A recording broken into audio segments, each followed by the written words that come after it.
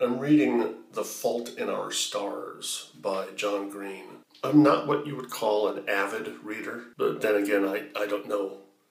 I don't know what, what you would call an avid reader. I like the people in the book. I care about them. They're fictional characters, but they're alive in my head. And there's times when I think, you know, that's almost the same thing as them being alive because a lot of the people that I know or that I have known, um, I don't see them anymore. They're they're only alive in my head. I totally understand why people would be avid readers because um, as I get more and more into the novel, I'm I'm lost in their world. When I'm reading the book, my own life disappears. I guess this isn't so much a review of uh, John Green's book as it is just reading in general. It's okay that I'm not getting into specifics of the book because, for one thing, it's just kinda a review, and also I don't want to give any spoilers. I'd, I'd, really like to encourage people to read this book. It's really good. My daughter Autumn recommended this book to me, uh, so I'd like to say now thank you, Autumn. And I'd also like to thank my vacation